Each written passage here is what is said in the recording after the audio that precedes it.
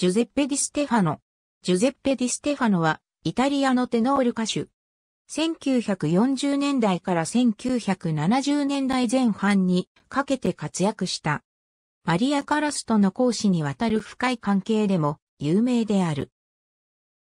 姓はステファーノと表記されることもあるが、イタリア語での正しいアクセントの位置はテにあり、アクセントを長音として表記した場合は、ステファノとなるが、単にステファノと表記される例が多い。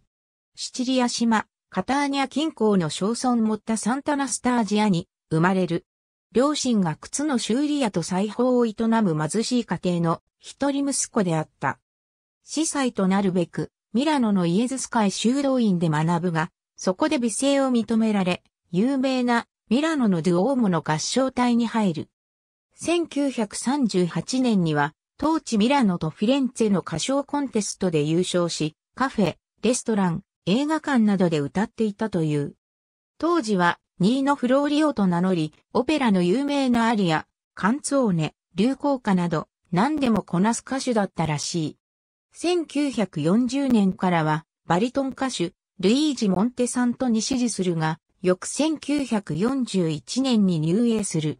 戦争激化と1943年のドイツ軍、北部イタリア占領に伴い、スイスに逃亡した。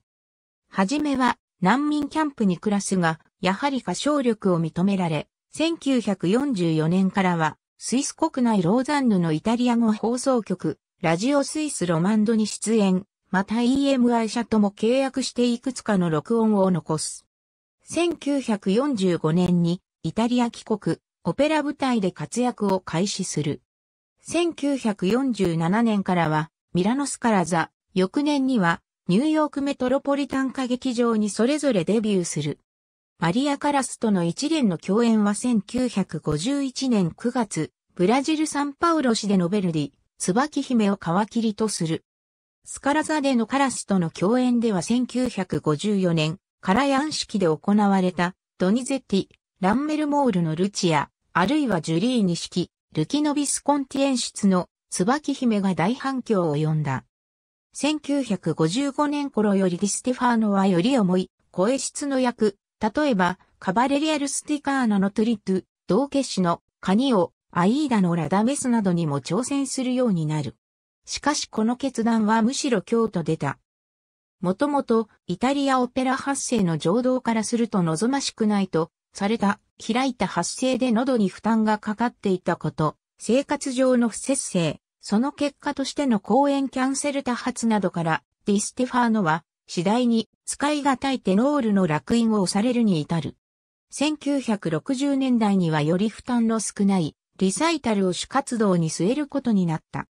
もっとも物体映えのする容姿、豊かな表情なども相まって観客からはピッポピッポの愛称で常に親しまれ、声楽的には体調期にあった1960年代でもライブ録音では聴衆を熱狂させている様子が垣間見える。1973年には、私生活でも噂の絶えなかったマリア・カラスの世界ツアーに同伴、日本を含む各国を訪れたが、工業上はさておき、芸術的には、かつての栄光の再現は果たせなかった。1992年6月、ローマからから大浴場跡での野外オペラ、トゥーランドットに皇帝役で出演したのを最後に、舞台からは完全に退いた。2004年12月、ケニアモンバサ近郊の別荘で妻と共に強盗に襲撃され、意識不明のままミラノまで搬送され入院する。その後も容体は回復せず、2008年3月3日、3年数ヶ月に及ぶ昏睡状態の末、ミラノの自宅で死去した。86歳没。ありがとうございます。